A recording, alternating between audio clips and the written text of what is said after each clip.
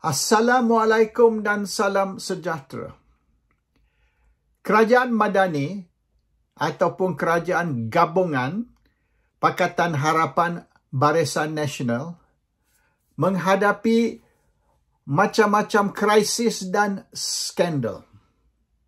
Enam dari skandal utama itu ialah REE e Kedah, SMG Selangor, Insurans Insan Selangor, Ambalat, kes Ahmad Zaid Hamidi, kes Najib Tun Razak dan juga isu uh, peguam negara yang uh, AMNO nak singkir, yang AMNO nak suruh ditukar. Ada lagi lah beberapa. Tapi ini isu uh, boleh dikatakan six main issues, isu utama. Dan uh, oleh kerana kerajaan sangat sensitif tentang enam isu ini, mereka dalam proses menyaman ramai orang, menteri besar lah, inilah dan sebagainya. Dan juga usaha kerajaan untuk menyekat ataupun blok uh, Twitter, Facebook, YouTube dan TikTok yang membawa cerita-cerita enam perkara ini. Saya TikTok sudah kena berapa ha, berapa video sudah kena ban. Uh, you know TikTok sudah remove YouTube, Facebook, Facebook saya kena uh, ni ban uh, you know lama hari tu baru baru saja Facebook ni sudah boleh balik. Dan uh, saya punya website Malaysia Today disekat tak boleh akses. Sekarang yang yang pergi Malaysia Today yang akses Malaysia Today tak sampai 30% dari dulu. Jadi saya terpaksa uh, guna lebih YouTube Facebook dan TikTok. Oleh kerana Malaysia Today ni dah block dah ramai tak boleh masuk dan dia orang tak faham maknanya mereka perlu guna VPN untuk masuk anyhow Malaysian government sedar yang isu-isu ni hangat sensitif dan uh, isu ini semua menggoncangkan Putrajaya. Putrajaya ni sekarang dalam ketakutan tentang isu-isu ini. Isu REE e misalnya sudah terbukti uh, matlamat uh, kerajaan, uh, kerajaan pusat ataupun uh, Pakatan Harapan ialah rampas kuasa di Kedah. Dan orang yang in charge, yang diberi tugas untuk rampas kuasa di Kedah ialah Saifuddin Nasution. Tapi dia gagal. Dan uh, tujuan dia ialah kerana Anwar nak bagi uh, projek REE itu bernilaian 100 bilion estimate uh, kepada kawan dia dari Indonesia. Kawan dia dari Indonesia ni is boleh katakan the top oil trader lah. Uh, oil dealer atau penyangak uh, minyak yang utama di Indonesia. Uh, dan uh, benda ni dia orang duk saman sekarang apa ni Menteri Besar Kedah untuk isu Kedah dan juga isu Selangor. Dan mereka juga buat polis report uh, terhadap Menteri Besar Kedah dakwa yang dia ni melakukan kesalahan ataupun jenayah di bawah Sedition Act, Akta Hasutan, tuduh Menteri Besar Kedah menghina uh, Sultan Selangor. Padahal tak ada pun, tak sebut pun nama Sultan Selangor. So ini tindakan kerajaan ganas terhadap Sanusi dan mereka yang mengkritik uh, kerajaan pusat atau yang membangkitkan isu REE e tadi. So memang confirm Anwar pun tak nafi yang dia bawa uh, kawan dia dari Indonesia mengadap Sultan Kedah. Buat apa dia, dia bawa orang Indonesia mengadap Sultan Kedah? Lepas tu dia orang buka pejabat dekat Alostar tu apabila Anwar dilantik jadi Perdana Menteri. Esokkan hari itu, selepas Anwar dilantik Perdana Menteri, dia buka pejabat kat Kedah untuk nak buat projek REE ni. Tapi dia orang gagal menang Kedah baru ni dalam pilihan raya negeri, maka pejabat pun tutup dan dia orang pun uh, undur dari Kedah. Isu ambalat is boleh dikatakan isu mungkin lebih besar Lebih besar dari isu REE. Uh, dan saya telah lapor tu uh, dan kerajaan Malaysia komplain membuat laporan kepada YouTube yang video saya tentang ambalat tadi. So video tu sudah disekat. Has been dah, tapi di Malaysia. Sekat hanya di Malaysia. Kalau you di luar Malaysia Singapore ke England tak kisahlah. Kalau you di luar Singapore you boleh access video. Dalam Malaysia saja you tak boleh access sama macam Malaysia Today. Kalau dalam Malaysia, you tak boleh access. Kalau you guna Cellcom ke, Maxis ke, Unify ke. Uh, kalau you guna tu, you tak boleh access Malaysia Today. Luar Malaysia, kalau you guna telco lain, no problem. You boleh access. So, maknanya pasal tu, Malaysia Today pun tak sampai 30% dah. Sebab kita punya pembaca luar Malaysia tu kurang yang dalam Malaysia lebih lah of course. So yang orang luar Malaysia ni no problem lah. Boleh baca lah boleh akses sama macam uh, video YouTube ambalat. Di luar Malaysia you boleh masih boleh akses tapi not in Malaysia. Dia block dalam Malaysia saja. So the issue ambalat ni of course is going to be the biggest lah mungkin. Isu yang terbesar uh, dalam uh, sejarah politik Malaysia dan di dalam kerja Anwar Ibrahim. Isu Ambalak ni is going to be far bigger than isu sodomi ni. Isu sodomi ni nothing. Isu Ambalak ni is explosive. Silap-silap isu Ambalak ni kerajaan tumbang. Kerajaan tumbang. Sebab ini memang satu uh, isu sovereignty kedaulatan Malaysia dan Anwar telah gadai kedaulatan Malaysia. Anwar has forfeited Malaysia's sovereignty. Oh, ini satu act of treason lah. Kalau nak kira ni, uh, boleh di charge di bawah uh, akta, you know, treason and uh, uh, mana bukan saja Anwar. Seluruh kerajaan mungkin kena, uh, you know, kena letak jawatan. So, those two issues tadi, REE dan Ambalat. Dan uh, dikatakan ambalat ni oleh kerana REE ni gagal. Mereka tak dapat nak rampas REE sebab mereka gagal rampas Kedah. So isu ambalat ni as a pengganti. Oleh kerana kalau ambalat ni jadi uh, maknanya pengeluaran minyak di ambalat ni jadi orang yang akan untung ah uh, ialah kawan uh, Anwar dari Indonesia yang terlibat dengan REE. So maknanya replacement lah. REE tak dapat, ganti dengan Ambalat. Lagi besar. So REE ini 100 bilion. Kalau Ambalat ni trilion. lah. ini bukan bilion dah ni. Ini trilion. And uh, dikatakan banyak bantuan kewangan diberi oleh millionaire ataupun uh, jutawan dari Indonesia tadi banyak bantuan kewangan diberi kepada Pakatan Harapan. So, it's payback lah.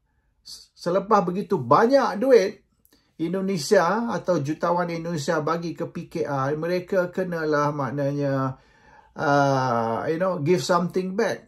And this is going to be ambalat lah. So, nampaknya yang akan untung besar bukan saja Indonesia tapi jutawan uh, this uh, oil trader atau jutawan dari Indonesia, kawan baik Anwar Ibrahim dan dikatakan financer untuk PKR. So there's a second thing, uh, boleh dikatakan hot issue atau skandal yang mungkin akan uh, menyebabkan kejatuhan kerajaan. Insurance is Insan is another one. Ini melibatkan Selangor. Insurance Ihsan ni pun Uh, saya tak payah cerita lah panjang lebar. Pasal insurans ESA ni dah ramai orang duk cerita dah kebelakangan ni seminggu kebelakangan ni. Ramai duk cerita orang semua tahu. Ini salah guna data SPR untuk register 6, uh, 6 juta rakyat Selangor uh, di dalam skim insurans ESA tanpa pengetahuan dan tanpa persetujuan mereka yang insure 6 juta orang tadi yang insure dikatakan tak tahu pun dan tidak pun uh, memohon ataupun memberi kebenaran. This is data theft, misuse of that of data plus fraud. Uh, yang melibatkan uh, Menteri Besar Selangor melalui MBI dan uh, Along ataupun uh, money lender Cina dari Pulau Pinang yang yang apa teli, uh, penyokong kuat DAP.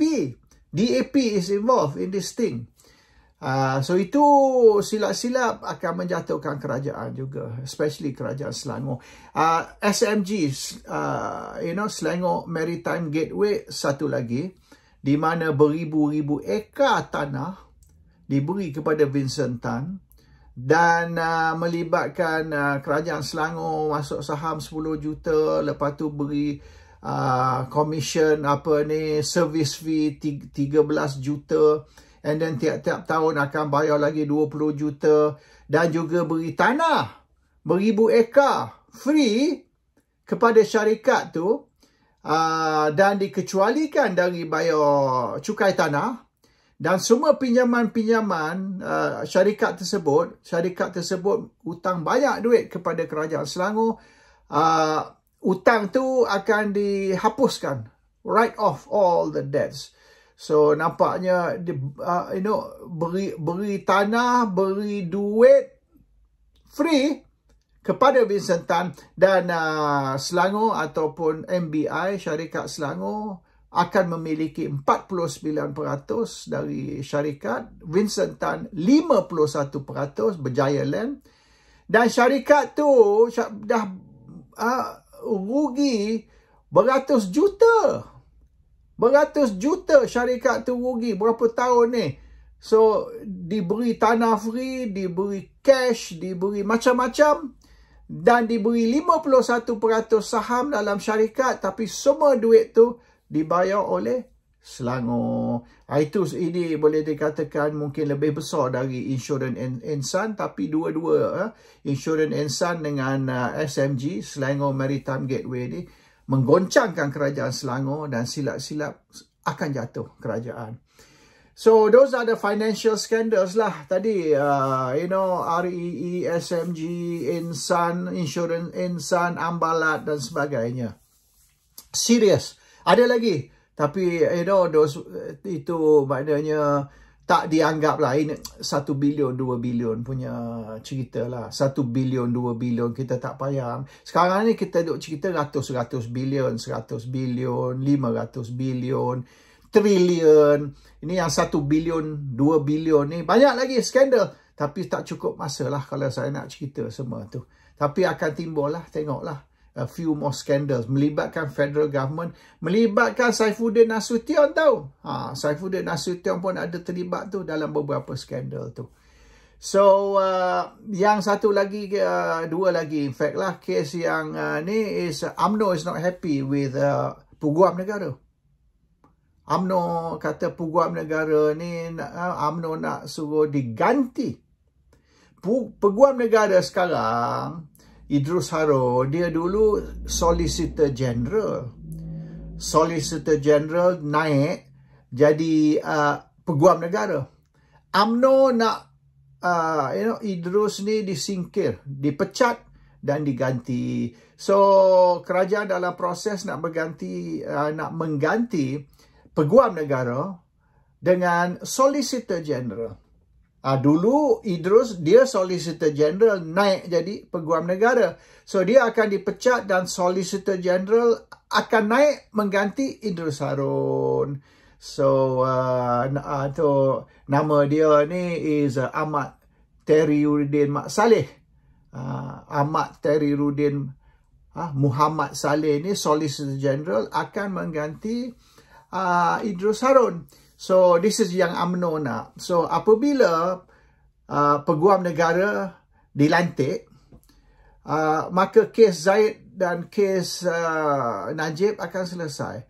Kes uh, kes Zaid ni kemungkinan besar mereka akan tarik balik charge uh, oleh kerana DPP dulu semasa siasatan uh, you know Akram tu masa siasatan mula Uh, dia telah buat laporan kepada peguam negara bahawasanya tak ada kes. Patutnya kes ni uh, digugurkan tapi mereka masih charge. Uh, dan dikatakan sebab walaupun uh, uh, ni DPP uh, timbalan pendakwa raya recommend kepada bos dia peguam negara yang tidak ada kes tentang isu Zaid ni tapi uh, kerajaan nak push gak kerajaan masa tu kerajaan Pakatan Harapan juga bukanlah kerajaan lain kerajaan Pakatan Harapan cuma Perdana Menteri Mahathir Uh, dan sekarang Anwar itu je beza. Tapi kerajaan nak push juga kes Zaid ni sebab dia nak tunjukkanlah kepada rakyat yang UMNO ni memang jahat, memang kotor, terlibat rasuah. So they proceed against the advice of the DPP. Dia tak ikut nasihat PPP. So surat tu sudah bocor. Uh, you know, in fact yang bocor surat tu saya. Dan uh, surat tu membuktikan yang memang tidak ada kes terhadap Zaid dan DPP recommend kepada AG bahawasanya there's no case. So now dia akan guna uh, isu itu, recommendation DPP, Timbalan Pendakwa Raya kepada Peguam Negara bahawasanya tidak ada kes terhadap Zaid dan kemungkinan uh, kes tu akan digugurkan atas alasan actually they should not have proceeded. Silap. Ini satu uh, technical error. They should not have proceeded and they made a mistake. So they will jatuhkan charge, ya, apa uh, gugurkan charge, tarik balik uh, apa charge. And uh, Zaid tak payah terus dengan perbicaraan. Isu Najib pun they are going to go on the basis of pengampunan. Sebab tak boleh buat apa dah. Kalau dia nak buat mistrial, uh, which is what UMNO nak, declare mistrial and then go for retrial, akan mengambil masa lama lagi. Sementara tu Najib kena duduk. Unless dia orang buat uh, ni, dia orang declare mistrial and dia orang adakan retrial, perbicaraan semula. Sementara tu Najib dia beri ikat jamin. Dia boleh balik rumah. Uh, kalau itu berlaku, that means technically, oleh kerana uh, dia declare mistrial and then retrial bermaknanya Najib sudah tidak ada rekod lagi. Najib sudah bersih. He's got no charge, apa he's got no conviction. Conviction tu akan di set aside, akan digugurkan supaya perbicaraan semula boleh diadakan. Najib boleh diberi ikat jamin oleh kerana Najib is not a flight risk. Tidak ada bukti Najib akan lari dari Malaysia. So Najib boleh sementara tu balik berpolitik uh, dan oleh kerana conviction tu sudah tidak ada lagi almost macam ni lah is almost macam pengampunan conviction tidak ada lagi uh, Najib boleh kembali sebagai presiden AMNO and dia boleh uh, berpolitik semula mungkinlah tak naik jadi timbalan Perdana Menteri. So timbalan Perdana Menteri ni mungkin uh, you know uh, Zaid akan terus. Walaupun dia presiden ke tidak ke or maybe Najib will not become the, the you know president of AMNO sekali lagi. Uh, tapi akan menjadi ialah uh, Mishurudul Am AMNO maknanya presiden AMNO pun terpaksa mengambil uh, ambil uh, nasihat dari uh, Najib so it's going to change the political scenario di dalam Malaysia dan dikatakan AG baru ni yang mengganti Idrus Harun ni iaitu Solicitor General yang sekarang ni yang ambil alih akan menentukan yang kes Zaid, kes Najib ni one way or another akan diselesaikan cara mana sekalipun lah. Banyak cara mereka boleh selesaikan. So Zaid ni kemungkinan besar either dia akan menang kes kes perbicaraan ni dia akan menang ataupun that case tidak akan diteruskan sebab mereka akan declare. So whatever lah Najib uh, secara banyak macam mana pun akan akhirnya keluar dari jail.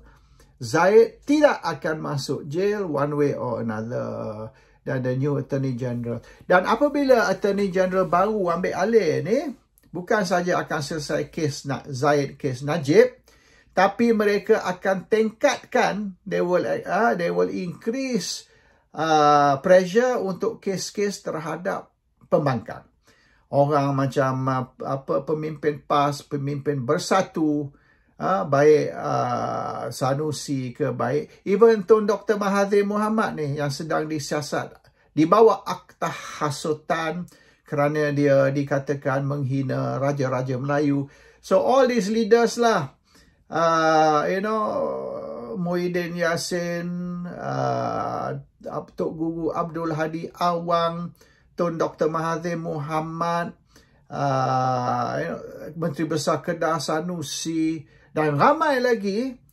especially orang bersatu, akan diseret ke mahkamah untuk menghadapi macam-macam charge.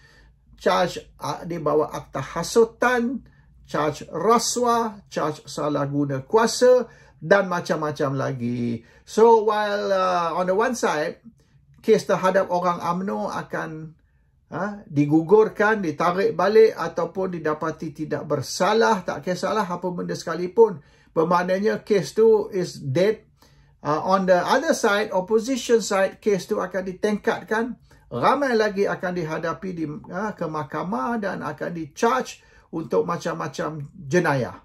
So that's what's going to happen. So the next uh, 2 3 4 tahun ni menjelang uh, PRU 16 ni uh, kita akan lihat perkembangan di mahkamah. Uh, developments in the court di mana ramai orang kerajaan akan didapati tidak bersalah, dibebaskan dan sebagainya. Uh, orang pembangkang ramai lagi akan di, ah, terpaksa masuk mahkamah untuk menghadapi macam-macam tindakan. So that is going to be uh, the the scandals eh, uh, yang kita akan lihat uh, dalam 3 4 5 tahun akan datang ni. Dan sekira skandal yang saya sebut tu REE, SMG, Insurans Insan, Ambalat, sekira benda tu kerajaan tak pandai handle, tindakan mereka is a block uh, sekat ataupun blok uh, TikTok, YouTube, Facebook, Twitter, uh, website Malaysia Today. Kalau setakat blok saja, sekat saja, tanpa mereka ada jawapan yang bernas, if they don't have a very good counter, uh, blok macam mana sekalipun, no effect dan kerajaan akan tumbang. One way or another, sekiranya kerajaan buat uh, tindakan bodoh dan tak pandai menjawab macam-macam isu skandal yang hangat. Assalamualaikum. Salam sejahtera.